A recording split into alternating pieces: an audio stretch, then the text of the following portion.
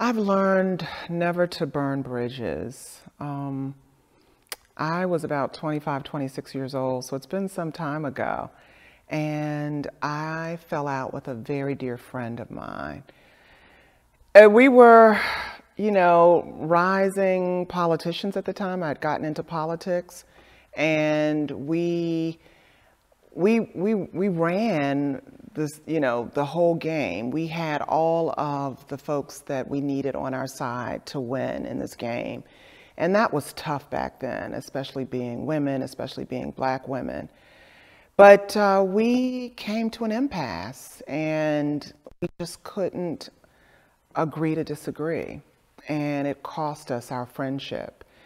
Not only did it cost me a very dear friend, it cost me friends because people took sides. They took sides. Um, a lot of people took her side.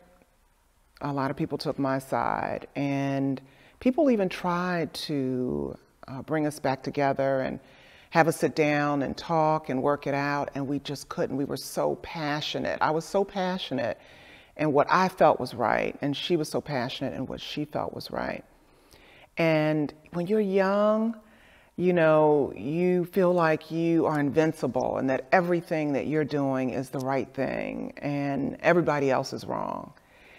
And looking back, I just realized that I should have stepped away for a minute, agreed to disagree, and come back. Come back to my friend. Friendships, true loving friendships, are so hard to come by. And I've learned that that was a bridge I should never have burned. To this day, we're still not friends. Uh, we've gotten married, we've raised families, we could have been in each other's lives. Um, she had two daughters, I had two daughters. But because I was dead set on being right and insisting that she was wrong, I was willing to burn that bridge to walk away from that friendship. And now I realize that it was a bridge that should not have been burned.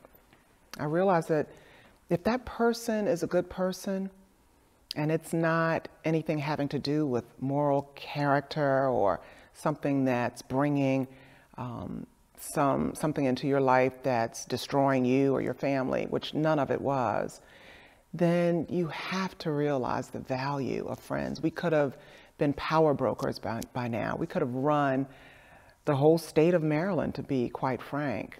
That's, that's how bad to the bone we were. And, um, you know, hindsight is 2020.